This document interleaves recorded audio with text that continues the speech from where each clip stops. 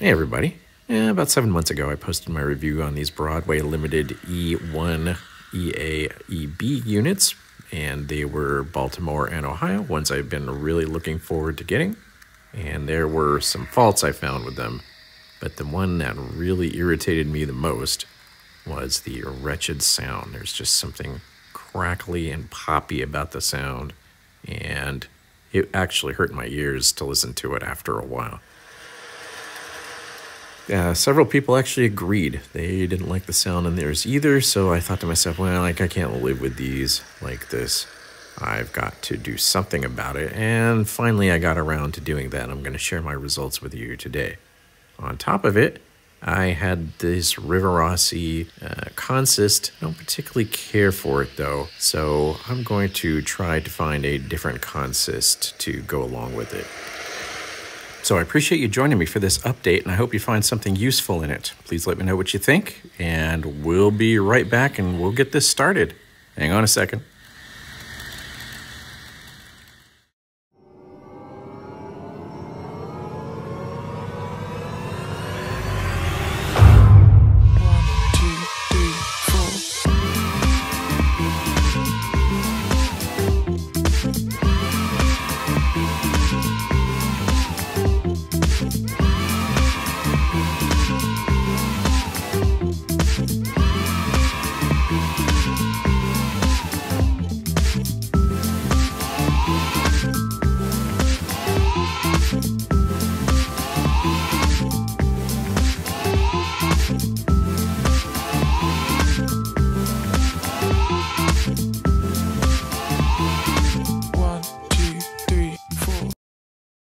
Today's episode is brought to you by Rolltru Scale Models, in particular Rolltru's line of precision-made HO scale wheels.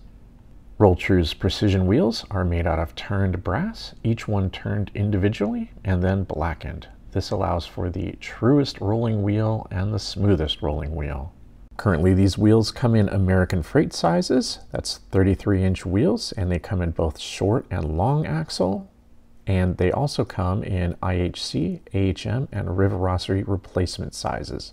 That includes the incredibly small pizza cutter wheels and the standard plastic wheels. Remember Rolltru for the truest rolling wheels. My primary complaint about this from the beginning was the sound, and if you can't hear it, good for you, but there is a rattling and popping and clipping to this that I just don't know how anybody can take, to be quite honest with you.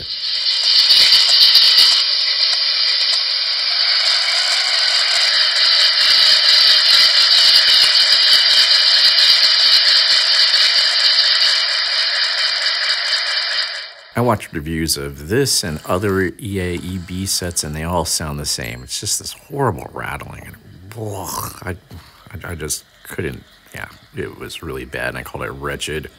And some people didn't seem to like that, but trying to be as honest as I can. And when you have a model that actually hurts my ear canal, yeah. One of the more interesting comments about that video was from Tom Atkinson. He said, okay, it was a nice review, but dude, what do you want for $235? I mean, nothing is perfect, and listen, it's not real. Well, if, even for a measly $235, at least it could sound somewhat decent and not rupture my eardrums. And as far as it not being real, that's not what my wife thought. So as you can see, you could fit an EA unit inside of your house comfortably.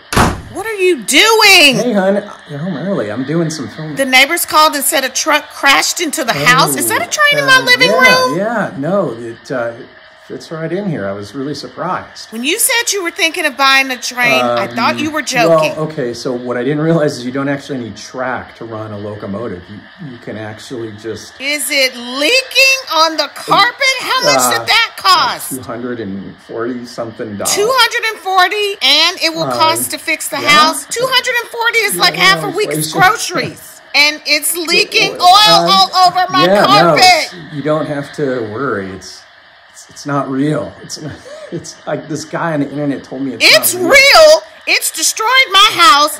Get Um, get, get well, out of my house okay, and get well- yourself out of my house. No one in their right mind would bring a train into the house. I don't know what you're thinking. This is over and over. I'm just so tired. Get out of my living room. As altruistically helpful as Tom was trying to be, his theory just didn't pan out. I need to find some way to at least make this sound acceptable.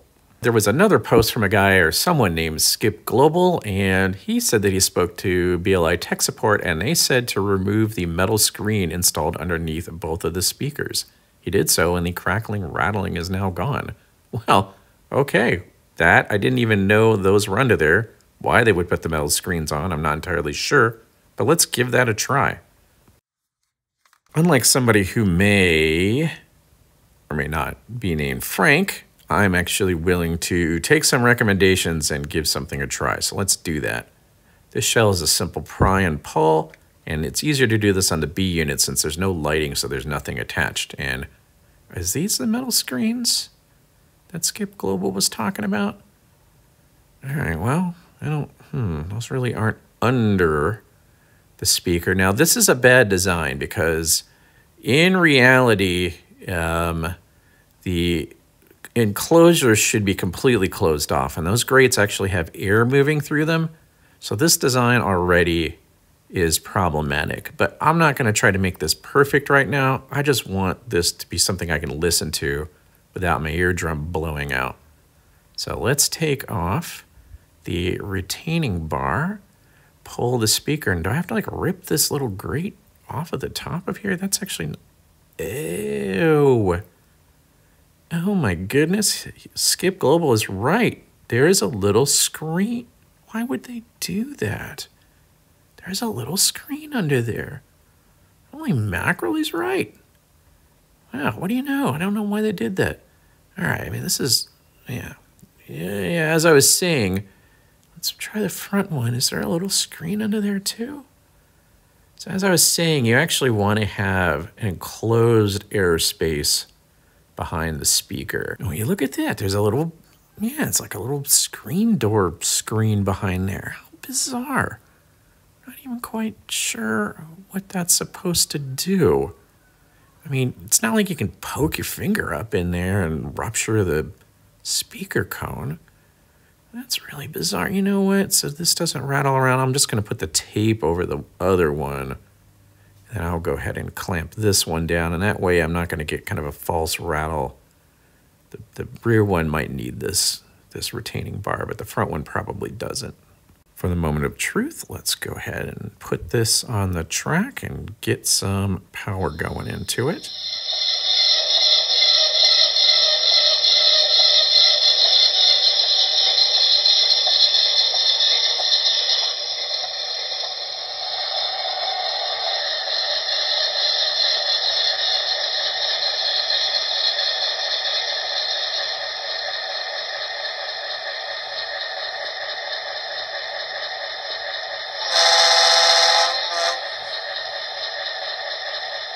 Oh my goodness, he's actually right. It stopped the rattling and popping.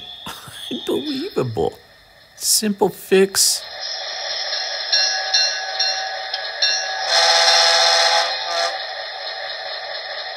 He's absolutely right.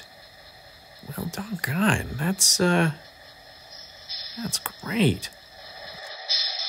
The sound lacks depth overall still, and again, that's because you know the uh, it should be a closed area above the speaker, um, and so I can fix that by making my own speaker enclosures. There's no doubt, but at least initially, and what I cared about most was just getting rid of that horrific, horrific rattling.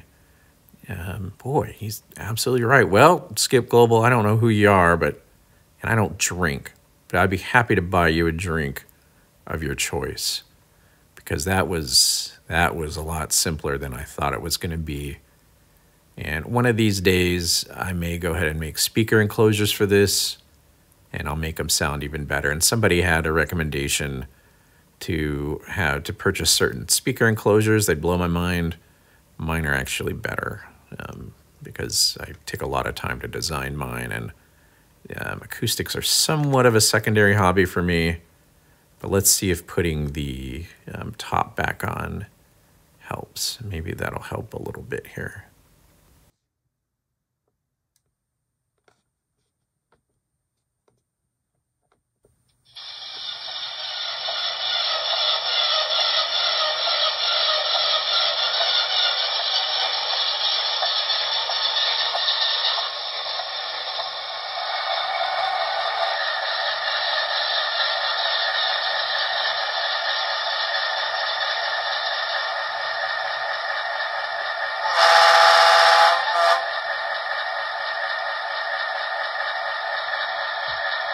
Wow, this is actually tolerable now. That's wonderful. I mean, it's now it's about to where I expect Broadway Limited to sound. Underwhelming with mediocre acoustics, but at least it isn't horrific now. At least this isn't wretched now. It's this is something I can actually live with. I was considering completely switching out the decoder or just simply moving these on and switching to E8s, E8 Protos, but nah, this uh this is going to work. Let's go ahead and do the front one. Let's go do the A unit. This is the exact same procedure. It's just you have to be a little bit careful with this front one. You have to kind of lift up the, uh, the actual cab working space here. And yeah, there that thing is. Bizarre. I mean, when you talk about the road to hell being paved with good intentions, I don't know if it's quite that severe, but it was pretty hellish listening to this thing. And I'm like, cow, I just, uh, boy, there must have been some good intention behind putting this thing in there, but hmm, I don't know. Let's go ahead and put this back together and get this front one on the track and give it a go as well. Let's see how it works.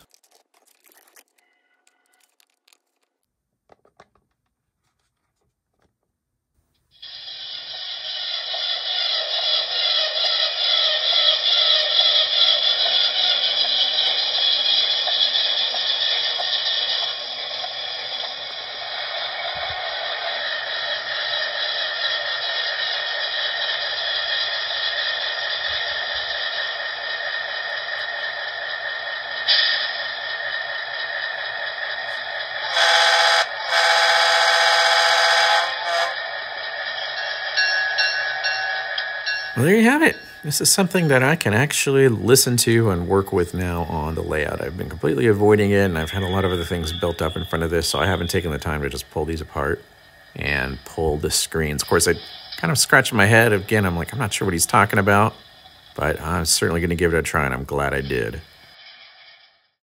Gracious, I thought I was going to be here all day, do like a 50 minute video, help you with this, but yeah, we just pull the screens out.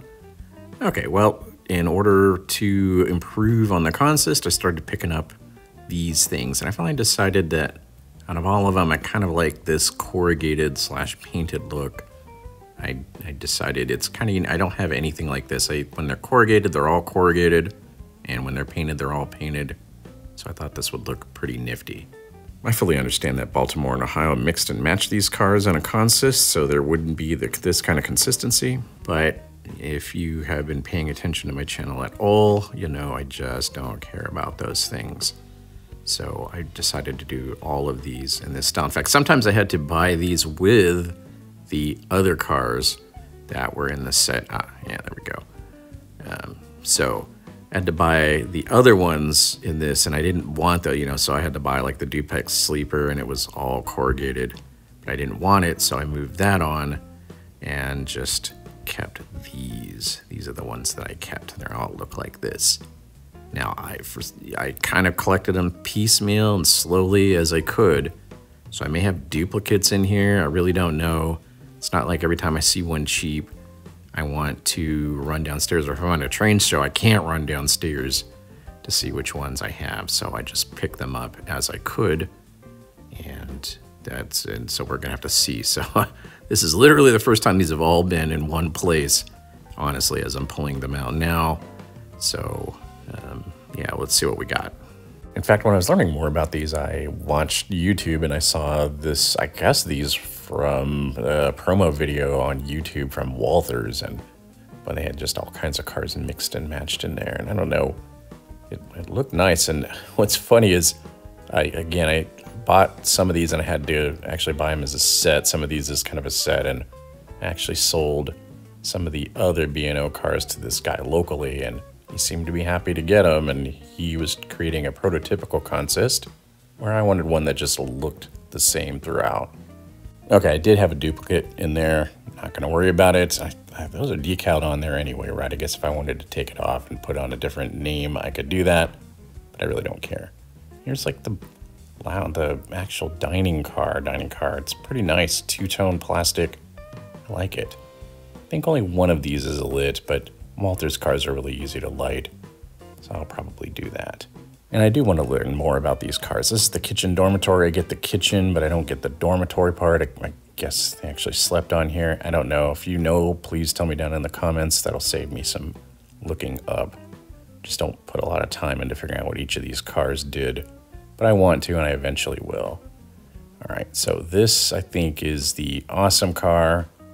I actually got pretty happy to find this for less than $100. It seems like these are going for pretty decent money.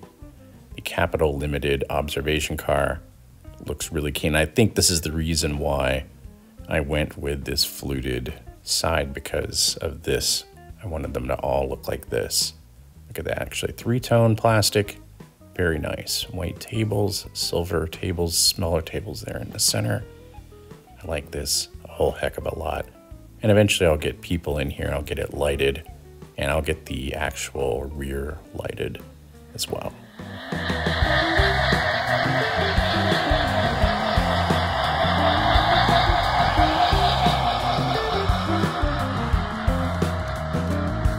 I'm happy that this is just a listenable to consist now. And I, yeah, but I probably will take the time to design my own speaker enclosures for these. I think I can make it sound even better. But like I said, the goal here today was just at least getting this to some sort of acceptable level.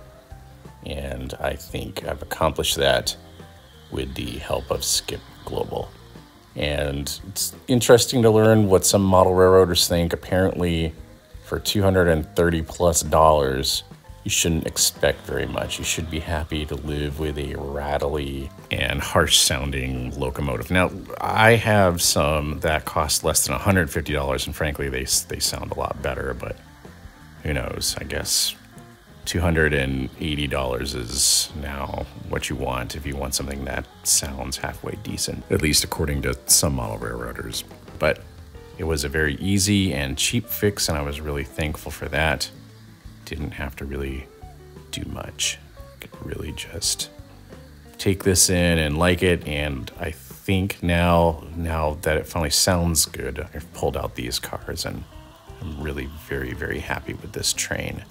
Very happy with this train. I think it looks great, and it doesn't sound great necessarily, but it sounds a lot better and it, it sounds acceptable. So I'm okay with that.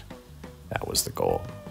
So tell me what you think. Do you like the fix? Is it something that you're going to do if you have one of these? Do you agree that for $235 you should expect a totally junky sounding train? I guess 235 will go with that. As always, appreciate you watching. I really enjoy that you're here. Thanks a bunch. And uh, if you want to help me out, yeah, or if this helped you out and you're willing to reciprocate, please click the like button and subscribe button with the bell. That really helps me out. And again, leave a comment. I'm curious as to what you think about all of this. And if you want to help me pay the bills, please consider purchasing something from one of the links in my description. Until next time, hey, happy model railroading. Take care, stay safe. And again, thank you so much for being here. Talk to you later. See you soon.